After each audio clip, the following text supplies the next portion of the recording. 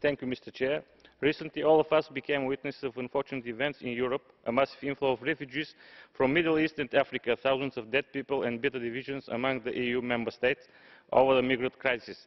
In this regard, I would like to attract your attention to the responsibilities of Frontex, respectively of the European Commission and Council.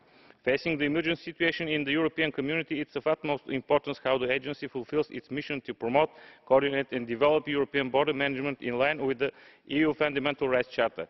I would like to call on urgent implementation of a strategic study and preparation of a new strategy well before 2017 regarding the announcement of Frontex during the hearing this year. In this context must be answered how in the most efficient and effective way the agency could fulfil its task according to the new strategy developed on the basis of a changed realities in the region. These issues are becoming more and more important nowadays in connection with the worsened security environment and problems of the migrants to the EU.